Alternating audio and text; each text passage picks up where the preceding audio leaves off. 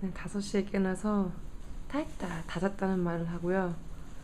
6시간 동안 토, 우리를 토처한 태준이 나, 나가면서 재우려고 했는데 지금 집이거든요. 벌써 잠들어요.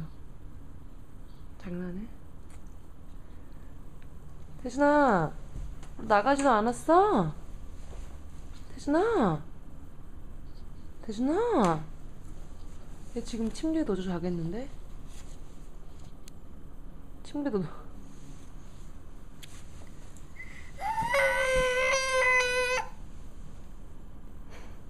그냥 침대도 놓고 우리 테이크아웃 할까? Just mention he swam for an hour and a half. 아, 수영 1시간 반을 아빠가 9시 반부터 데리고 나 아니다. 아, 8시 반이었어? 10시 반까지 수영하고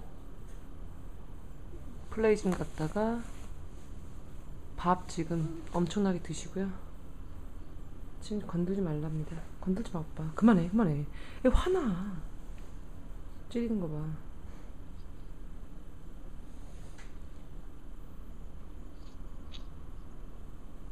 자세히 하면 되니 빠는 소리 들려.